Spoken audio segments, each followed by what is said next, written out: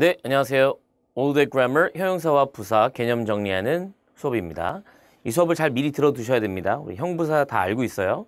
형용사와 부사가 어떤 내용인지 알고 있는데 여기서 문제 풀기 전에 최소한의 내용들을 정리하는 거니까 많이 아시는 분들도 반드시 한번 들어두시고 개념이 잘 모르시는 분은 이 부분만은 꼭 알아두셔야 우리가 문제를 풀 때 훨씬 더 잘 적용을 해보실 수 있을 겁니다. 자, 바로 처음부터 시작해 볼게요. 선생님은 형용사와 부사를 가르칠 때 항상 별명을 붙입니다. 수식하는 형제들이라 하죠. 수식이 뭡니까? 뭔가를 꾸며주는 거죠. 꾸며준다는 말이 무슨 말이냐면 자세하게 설명한다는 이야기예요.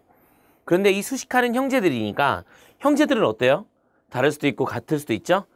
어, 엄마 아빠가 똑같다는 면에서는 수식한다는 면이 공통점이지만 차이점이 이렇게 제시가 될 수 있습니다. 그래서 형용사와 부사 이렇게 나눠 놓고서 각각의 핵심을 하나씩 하나씩 적어놨습니다.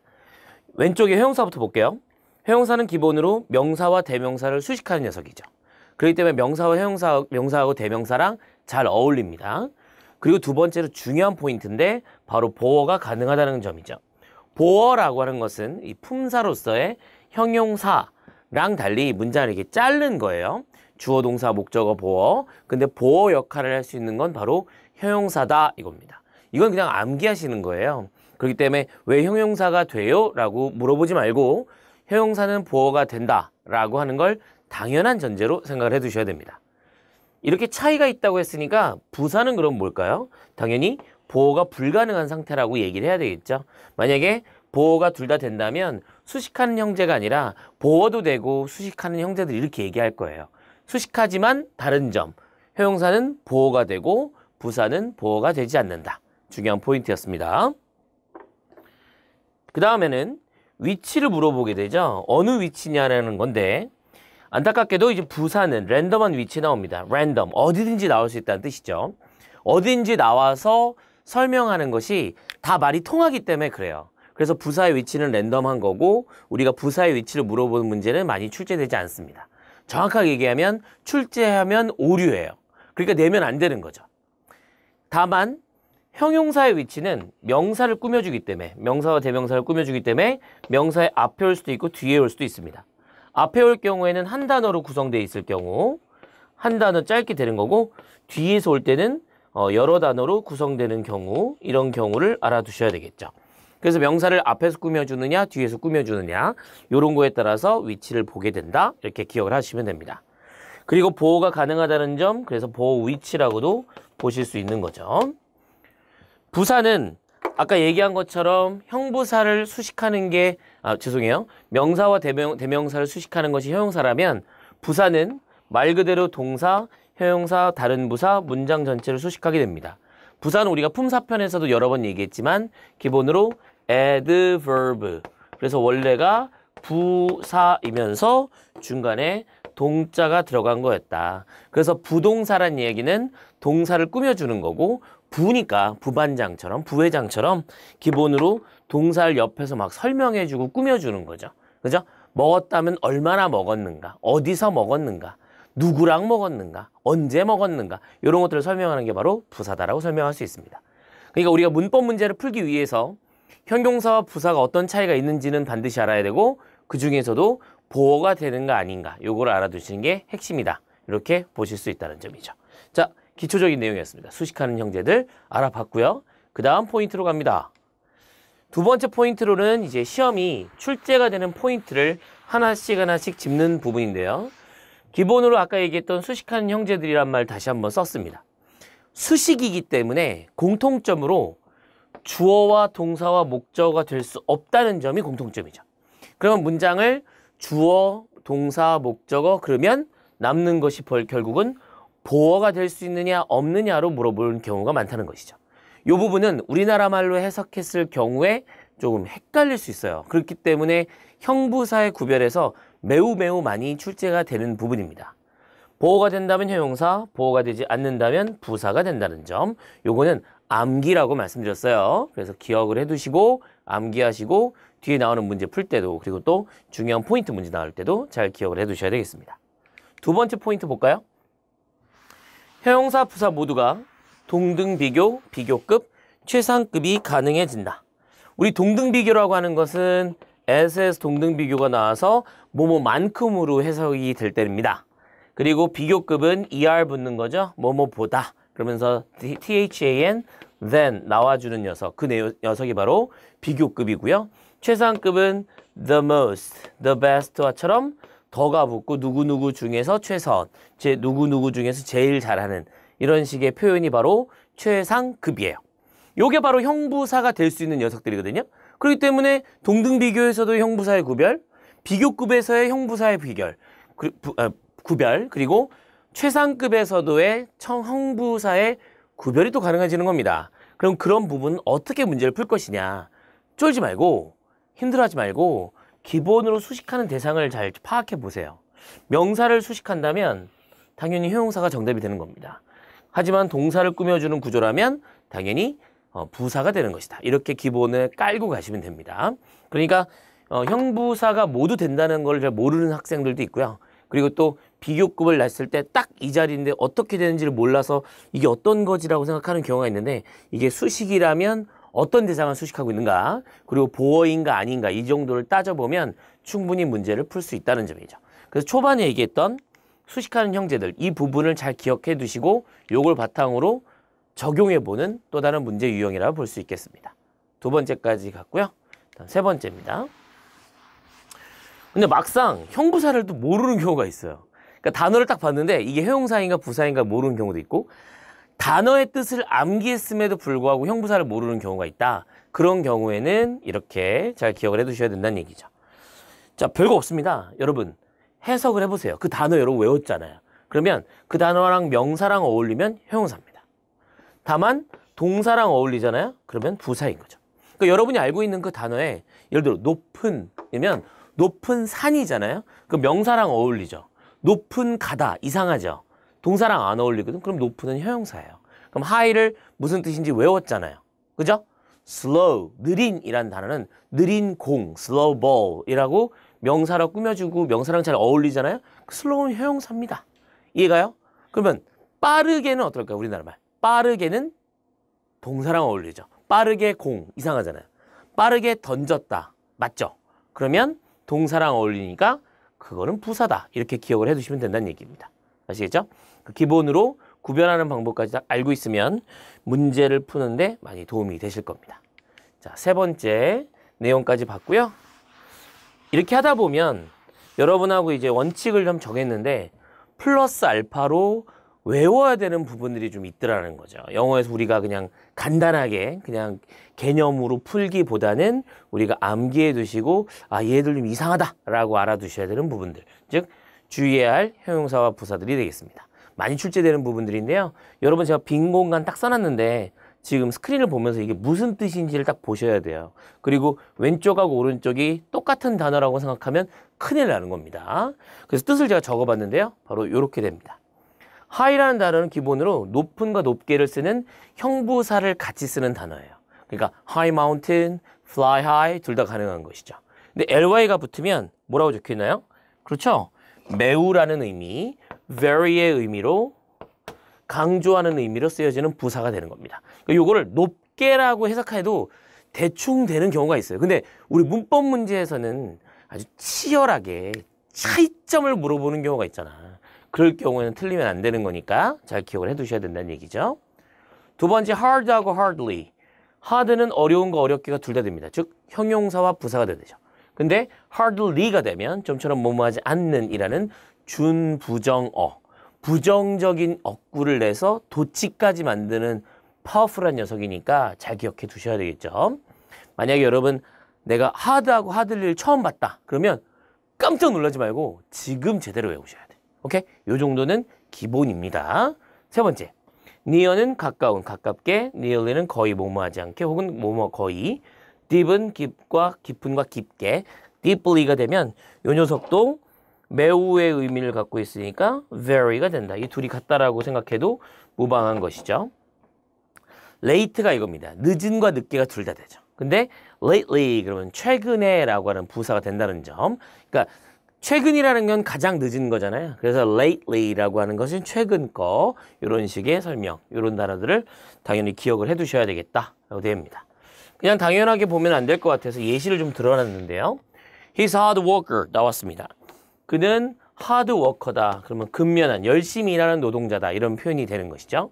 그런데 이 자리에 hard는 he를 꾸며줄까요? works를 꾸며줄까요? 당연히 works, 동사를 꾸며주는 것이죠. 그럼 그는 열심히 일한다가 됩니다. 그래서 hard란 단어는 정말 똑같이 생겼지만 어느 자리에 오느냐에 따라서 명사를 꾸며주는 형용사 자리일 때는 근면한, 열심히 하는 이라면 works를 꾸며주는 랜덤한 자리의 부사라면 열심히 라고 하는 부사로 쓰여질 수 있다. 기억해 두셔야 된다는 것이고요. All my family are early risers. early란 단어하고 they go to bed early 이 녀석이 어떻게 꾸며주고 있는가? early risers 이 얘기는 일찍 일어나는 사람들이죠. 그죠? early risers 어, 그리고 bed를 꾸며주는 것이 아니라 go를 꾸며준다고 볼 수 있죠. They go to bed early. 그러면 위에 있는 거는 우리 모든 가족 구성원들이 다 일찍 일어나는 사람들이다. 아침형 인간입니다가 되는 것이고 아래에 있는 거는 they go to bed early. 그들은 일찍 침대 침대로 갑니다. 즉 잠자리 듭니다니까 그들은 일찍 침대가 아니라 일찍 자러 간다. 동사랑 어울리죠? 그래서 똑같은 단어지만 효용사, 부사, 효용사, 부사로 쓰여질 수 있음을 알아두시라. 요거를 적용해 보았습니다. He has enough money to buy his own house. 두 번째 나와 있는 예시에서는요. 똑같이 생겨있는 enough란 단어가 어떻게 쓰여졌는지를 각각 분석해 본 겁니다. 여기서는 money를 꾸며줬죠. 그러면 여기서 해석해 보면 그는 충분한 돈을 갖고 있는 거예요. 뭐 하도록? 자신만의 집을 살 수 있을 정도로 충분한 돈이니까 돈을 꾸며주는 enough가 효용사 앞에 나와 있죠. 아까 효용사 위치 어디라 그랬어요? 명사의 앞, 뒤. 한 단어면 앞, 여러 단어면 뒤에서 꾸며줄 수 있다. 기억나죠? 오케이? 뒤에 있는 걸 보면요. 아래 보시면요. He's rich enough to 라고 나옵니다. 그래서 enough가 rich를 꾸며주죠. 어? 다른 거 꾸며주는 거 아니에요? 충분한 그인가요? 땡. 충분하게 있다인가요? 땡. 다 틀렸지? 그럼 뭐야? 앞에 있는 rich를 꾸며준 거라고 인정해 볼 수 있죠? 그러면 충분하게 부유한 거죠. 그럼 부사가 되는 겁니다. 영어에서는 영단어의 위치에 따라 품사가 바뀐다라고 여러 번 수업 시간에 얘기했는데 품사론도 얘기하죠. 그런 거를 여러분이 잘 기억을 해 두셔야 됩니다. 그러니까 열린 사고를 갖는 게 중요하죠. 단어 하나는 이건 무슨 한 가지 뜻이야 라고 하는 순간 망하는 거예요. 영단어는 위치에 따라 바뀌어요. 우리나라 말은 그 단어의 뜻에다가 다른 걸 붙이죠. 뭐뭐 하게, 뭐뭐 하는, 뭐뭐의, 뭐뭐로, 다. 딱 붙이면 동사가 되고 막 그런단 말이에요. 그렇기 때문에 우리는 단어를 형태를 보면 아 이게 대충 무슨 품사겠구나라고 우리나라 말은 알아요. 하지만 영어는 그렇지 않다는 점이죠. 위치가 어느 자리에 오느냐에 따라서 품사가 바뀔 수 있다라는 거죠. 이해하시죠? 그렇기 때문에 enough의 위치는 여기선 부사였구나. 이런 것들을 알아두셔야 된다는 얘기입니다. 아시겠죠? 오케이. 그래서 enough 앞에 있는 효용사를 꾸며줬다. 여기까지 됐죠? 그런가 하면 세 번째로 주의해야 할 형부사로 hard란 단어에다 ly 붙이는 hardly를 보겠습니다. 위에 있는 거 읽어볼게요. He works hard. 그는 열심히 일한다. He hardly works. 둘 다 부사로서 앞에 있는 hard는 동사를 꾸며줬고요. 뒤에 있는 hardly도 중간에 있는 단어가 works를 꾸며줬죠. 근데 뜻이 달라진다는 거죠. ly를 붙이면 보통 형용사에다가 ly 붙이면 부사되는 것을 원칙으로 하지 않습니까? 근데 저 hard란 단어나 아까 했던 near, deep 이런 단어들은 뜻이 바뀌면서 완전 다른 뜻으로 전용된다는 점이죠. 용도가 바뀐다는 거예요. 위에 있는 거는 열심히라는 의미로 works를 꾸며줬다면 아래에 있는 건 좀처럼 거의 일하지 않는다라는 의미로 쓰여진 부사입니다. He work hardly works. 그래서 완전 뜻이 다르잖아요. 그죠? 이런 건 영작했을 때 우리가 헷갈릴 수 있는 거지. 그는 열심히 일했다. 열심히 어 부사다 싶어서 ly 붙이면 틀린다. 이런 구조가 되는 거죠. 그러니까 이런 부분은 한국 사람들이 많이 헷갈려하고 영어를 영어로 공부하지 않은 학생들이 많이 놓치는 부분이기 때문에 시험 문제에도 많이 출제될 수 있다는 점 기억을 해 두셔야 되겠습니다. 자, 그 다음에는 한정과 서술에서 의미가 차이가 생기는 형용사들을 좀 적어봤습니다. 좀 어려운 내용인 것 같은데요. 한정이라는 거는 쫄지 말고요. 한정은 수식한다는 거예요. 그리고 서술이라는 거는 보어로서의 역할을 쓰여질 수 있다는 겁니다. 그러니까 예를 들어서 어, 수식한다는 얘기는 명사를 꾸며주는 거고요. 그리고 여기 있는 수식이나 한정이 아닌 그쵸 보충 같은 경우에는 여기 있는 보충은 보어로서 서, 서술을 하는 형태 이런 구조일 경우에 뜻이 바뀌는 경우 기억을 해두시라는 얘기죠. 예를 들어서 he is 이렇게 적혀놨다 생각하면 돼요. he is present 그러면 그는 존재한다. 그러니까 지금 출석했다 이런 표현이 되죠. 근데 예를 들어서 현재로 present, present 현재 tense라는 단어가 붙으면 현재 시제라는 식으로 꾸며줄 수 있다는 거죠. 존재하는 시제 이런 게 아니죠. 여기서 he's late 그럼 그는 늦은 겁니다. 근데 예를 들어서 late 다음에 Mr. Lee 그렇게 되면 지각하신 분이 아니라 돌아가신 분이라는 뜻이 되죠. 요거는 글 자체에서 많이 나오죠. 그래서 지문 같은데 The late Miss Lee 그러면 아 이 씨가 지각했구나 이게 아니라 돌아가신 이 선생님께서 이런 식의 표현이 되는 거지. 그래서 이렇게 된다는 점 기억하시고 예를 들어서 it is certain 이렇게 보호로 나오면 확실하다라고 하는데 certain number 이렇게 꾸며주게 되면 특정한 숫자 이렇게 해석이 되겠죠. right도 마찬가지입니다. he's right 그러면 그는 올바르다 혹은 그는 옳은 상태다가 되는 거죠. 그는 우파라 이런 의미가 아니란 말이죠. right hand 그러면서 명사를 꾸며주면 오른쪽 손 이렇게 설명이 된다는 점인 거죠. 요 부분을 시험 문제에 출제하는 게 상당히 좀 까다로울 수 있지만 단어가 자체가 뜻이 달라질 수 있다는 것을 기억을 해두시면 훨씬 더 문제를 푸는 데 도움이 될 것이고 빠른 해석이 될 것이다. 그래서 제가 여기서 한번 넣어놨습니다. 정말 중요한 포인트 나왔는데요. 오형식에서의 형부사의 구별입니다. 동사 나오고 목적어 나온 것까지 똑같아요. 오형식은 기본으로 목적어를 보충해주는 목적격 보호가 있는 형태죠. 위에 있는 걸 바로 오형식이라고 적어두겠습니다. 그래서 문장이 가장 어려운 형태죠. 우리가 인간이 사고할 수 있는 가장 복잡한 언어 체계가 바로 오형식이라고 합니다. 여러 가지 길게 길게 하면 힘들다는 거죠. 근데 이때는 목적어를 보충해 주는 게 형용사라고 했잖아요. 그죠? 그리고 보어가 형용사 자리가 된다라고 맨 앞에 얘기하지 않았습니까? 그러니까 요걸 바탕으로 봤을 때 해석을 해보면 목적어를 목적격 보호하게 동사했다라고 해석하잖아요. 그럼 헷갈려요. 그러니까 지금부터 여러분 오형식을 이렇게 해석합시다. 잘 보세요. 목적어를 따라해. 목적 보호한 상태로 따라하고 있죠? 동사하다. 자, 다시 한번 갑니다. 목적어를 목적 보호한 상태로 동사하다. 이해가요?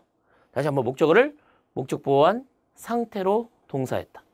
형용사로 앞에 있는 목적어를 보충하기 때문에 보충한다는 느낌으로 해석해 주려면 뭐뭐한 상태로라고 해석하는 게 훨씬 더 여러분에게 도움이 됩니다. 그리고 이걸 바탕으로 했기 때문에 아래 나와 있는 또 다른 삼형식 동사 여기 있는 건 삼형식으로 하겠습니다. 삼형식의 이런 문장 동사는 그대로 해석이 가능하다는 거죠. 부사로 앞에 나와 있는 형용사가 아닌 부사가 나왔기 때문에 부사는 그냥 동사를 수식해 주는 거죠. 그래서 편하게 해주면 됩니다. 뭐뭐 하게 그대로 부사 아니겠습니까? 목적어를 동사한다 라고 해석해 주시는 거죠. 그래서 아래에 있는 문장하고 위에 있는 문장 중에서 여러분이 가장 만나게 될 문장은 아래 문장이 더 많아요. 근데 시험에 내는 거는요. 앞에 있는 걸 많이 냅니다. 저 위쪽에 있는 걸 더 많이 내죠. 그러면서 헷갈리게 할 거예요. 형용사 부사가 맞니? 근데 뭐뭐하게 라고 해석할 때는 헷갈리게 되거든요. 그러니까 보어가 나왔을 때 뭐뭐한 상태인지 아닌지 보충해 주는지 아닌지 이런 걸 보시는 게 훨씬 더 도움이 될 겁니다. 자, 먼저 암기하셨고요. 그 다음에 한번 예시 문장으로 읽어보겠습니다. They found the suspect easy. They, sus they found the suspect easily. 주어하고 동사는 똑같이 생겼어요. 그죠? 그리고 뒤에 목적어까지도 똑같이 생겼습니다. 소름. 주어 동사 목적어 똑같이 생긴 거죠? 그러면 뒤에 나와 있는 차이가 무엇이냐? 앞에 있는 건 형용사, 뒤에 있는 거 easily는 부사죠. 자, 부산 누굴 꾸며준다? Found를 꾸며줍니다. 근데 여기 나와 있는 형용사 나온 목적격 부어 나오면 어떻게 하라 그랬어요? 상태. 기억나죠? 그래서 그들은 suspect, 용의자를 쉬운 상태로 생각했다가 됩니다. 자, find가 원래 발견하다도 있지만 이때 오형식으로 해석되면 생각하다, 간주하다가 뜻이 되죠. 그러니까 그들, 아마도 경찰이겠죠. 경찰들은 그 용의자를 저놈 쉽다, 쉬운 상태다. 누가 쉬워? 얘를 쉬운 상태로 생각했다가 되는 거죠. 이해하세요? 반면 아래에 있는 easily는 그대로 해석하면 돼요. 그들은 쉽게 용의자를 발견했답니다. 그 얘기는 뭐냐면 그들이 발견한 거예요. 용의자, 어, 저긴데? 쟤네? 바로 발견한 거죠. 이해하세요? 얘는 동사를 꾸며주는 부사죠? 부사의 위치는 랜덤하다고 했어요. 얘 앞에 있다고 생각합시다. 쉽게 그들은 발견했다. 여기다 생각합시다. 그들은 쉽게 용의자를 발견했다. 여기다 생각할까요? 그들은 발견했는데 쉽게 용의자를 발견했어요. 랜덤한 위치에도 다 됩니다. 그냥 물리적인, 물질적으로 어디 있었는지를 발견하게 됐다는 표현을 쓸 때 easily 부사를 쓰는 것은 어렵지 않았다는 것이죠. 근데 위에 있는 문장은 뭐냐면 일단 잡아놨어요. 그리고 suspect, 그 용의자를 쉬운 상태로 생각한 거죠. 쟤 뭐 전과 1범에다 저 한번 한두 시간 조지면 되겠지 뭐. 야, 너 누구 죽였어? 이렇게 얘기하게 되는 형태. 그럴 때 easy, 누가 쉬운 상태다? 앞에 있는 suspect다. 근데 easily는 누가 쉬운 거죠? 그들이 쉽게 발견한 거다. 그래서 이 둘의 차이는 이렇게 느끼실 필요가 있겠습니다. 여러분이 외국의 체류 경험이 길고 영어를 많이 하다 보면 이런 둘의 차이를 그대로 그대로 느끼실 수 있을 거예요. 근데 좀 경험이 없잖아요. 그럼 이 문장을 헷갈리게 되시는 경우가 있습니다. 그래서 특히 이런 문제들은 시험에 나올 경우에 많은 학생들이 힘들어하는 경우가 있으니까 완전 정복하셨으면 괜찮습니다. 다음으로 빨리빨리 넘어가셔도 돼요. 마지막 근데 부족하시다면 제대로 제대로 보실 필요가 있다는 거죠. 한 가지 예시를 더 만들어 봤습니다. Remake the problem simple. Remake the problem simply 라고 적혀 있죠. 똑같이 우리는 문제를 만들었다라고 적혀 있어요. 문제를 만들었는데요. 어떻게 만들었냐면 쉬운 상태로 만든 겁니다. 단순한 상태로. 아래에 있는 거는 단순하게 만든 겁니다. 자, 우리가 누구일지를 생각해 봅시다. 이건 시험 문제라고 생각할게요. 시험 문제를 단순한 상태로 만든 건 누굴까요? 단순하게 문제를 만든 건 누굴까요? 아래에 있는 거는 시험을 낸 출제자 같은 거죠. 그냥 단순하게 시험 문제 만든 거예요. 다다다다다. 어떻게 만들었어요? 아, 그 교과서에 있는 문제 이렇게 긁어서 냈어요. 수학 같은 경우는 숫자만 바꿨어요. 영어 같은 경우는 빈칸만 좀 뚫어놨어요. 그러면 간단하게 만든 거죠. 단순하게. 간단하게 그냥 만들었어요. 되는 거죠. 위에 있는 문제는 문제를 간단한 상태로 만들어준 겁니다. 그 얘기는 뭐냐면, 문제, 물론 이제 선생님들이 쉽게 냈기도 했겠지만, 제 생각이 여기 있는 위는 문제를 푸는 방법을 발견해내는 거죠. 그래서 문제를 단순한 상태로 만들어버렸다. 그전에는 안 단순했는데, 이제는 very simple 하게 만들었다. 이런 경우일 경우에 뭐뭐한 상태로 라고 해석이 되는 구조입니다. 이해하실 수 있을까요? 둘의 차이를 모르시면 다시 한번 앞에 있는 내용을 읽어두시고요. 문장을 계속 풀어보시면 됩니다. 그래서 뭐뭐한 상태, 뭐뭐하게 둘의 차이를 기억해 두시면 좋겠다. 이렇게 5형식의 그리고 3형식의 구별 이런 내용까지 한번 언급해 봤습니다.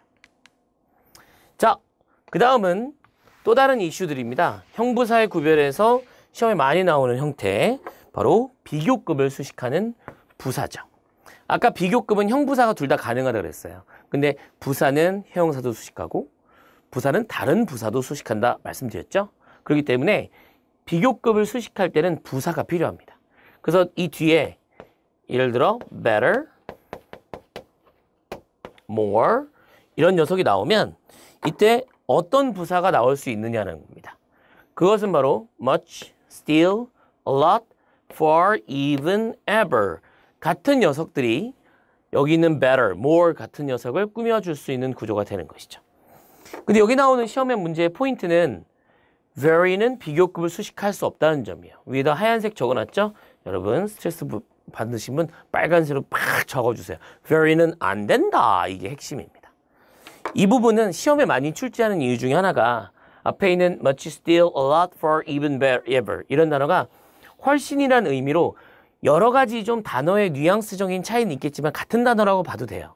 그렇기 때문에 훨씬 더 잘하고 훨씬 더 많아 이런 표현에 갖고 있는데 이때 앞에 있는 게 다섯 가지 정도 되니까 사지선다 오지선다 문제를 내면 very를 하나 섞어놓고서 이 자리에 못 들어가는 게 뭐냐 혹은 이게 잘못된 게 뭐냐라고 하기 내기가 쉽기 때문에 그렇습니다. 그래서 비교급을 수식하는 부사로서 much, still, a lot, for, even, ever 기억해 두시고 very는 되지 않는다. 요걸 잘 기억해 두셔야 됩니다. 그래서 우리가 이번 강의에서는 제가 문제를 양자택일로 둘 중에 하나만 내는 거를 보여, 보여드리고 있잖아요. 근데 이제 다음 좀 더 실전적이고 어려운 문제로 가면 가끔 시험 문제에도 이런 게 나온다고요. very 밑줄 쳐놨습니다. 그럼 이거 왜 물어봤냐는 거죠. 매우를 물어봐서 뭐 하겠다는 거야. 아, 이거 사실은 비교급 수식이에요. even, better, much better 이게 가능한데 very better 이런 것들 없다는 점인 거죠. 이게 왜 없냐면요. much better, much more, a lot more, a lot better 같은 경우는 발음이나 이 내, 내용 전달이 매우 쉬워집니다. 그 발음이 되게 부드럽죠. 근데 very better, very more 같은 경우는 아직 안 끝난 느낌이 되기 때문에 수식하는 녀석은 정해져 있다. 요거는 반드시 암기하시고 공부해 두셔야 되겠습니다. 비교급 수식하는 부사였고요. 또 다른 이슈는 바로 양보의 as입니다. 영어에서 형부사의 위치는 뭐였냐면 부사가 사실은 어느 자리라 그랬어요? 그쵸. 부사는 문장 맨 앞 같은 랜덤한 자리가 나온다 그랬잖아요. 형용사는 명사를 수식하는 녀석에 불과한 거고. 근데 이 자리가 형부사의 구별로 따졌을 때 누가 봐도 부사 자리 같은 거예요. 형태는 as라는 접속사가 나와 있고 주어 자동사가 나옵니다. 그러면 어 부사 자리인가 라고 생각하게 되는데 그러지 말라 이거지. 여기는 as를 뭐라고 이름 붙였죠? 양보의 as. 그래서 해석은 비록 뭐뭐 할지라도라고 해석이 됩니다. 비록 뭐뭐 할지라도라고 해석될 때는 반드시 앞에는 형용사가 나와야 된다는 의미죠. 그래서 형부사의 구별로 앞에 부사 딱 넣어놓고 얘랑 얘랑 누가 맞니? 라고 하게 되면 아 뜻을 해석을 해보니까 문맥에 기반을 둔 풀이를 해보니까 어 이거 비록 뭐뭐일지라도거든요. 부사 안 되는 거예요. 그래서 형용사가 맞다 이렇게 기억을 해두시면 된다는 이야기죠. 또한 뒤에 해석을 해봤더니 자동사가 있네. 자동사는 누굴 필요로 했었죠?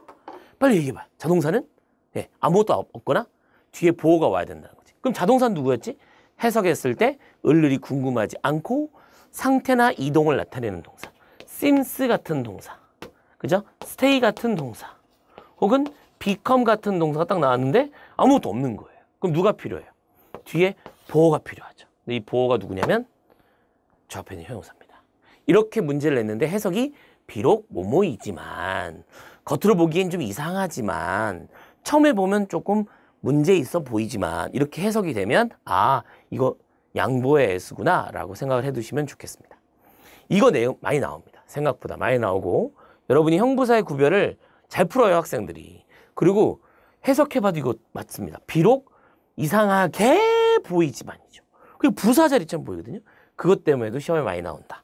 양보, 양보의 S 잘 정리를 해두시고 문제풀이에서 반드시 발견하시게 될 겁니다. 확인해 보시기 바랍니다. 네, 이렇게 해서 형용사 부사에 관한 개념 정리를 쭉 끝내봤는데요. 이 부분을 바탕으로 잘 기억을 해두시고 체크해 두시고요. 바로 뒤에 있는 문제를 풀어보시면 좋겠습니다. 그리고 해설 강의도 확인해 두시고요. 제대로 공부를 해 두시면 많이 도움이 되실 거예요. 자, 형부사 개념 정리 여기까지였습니다.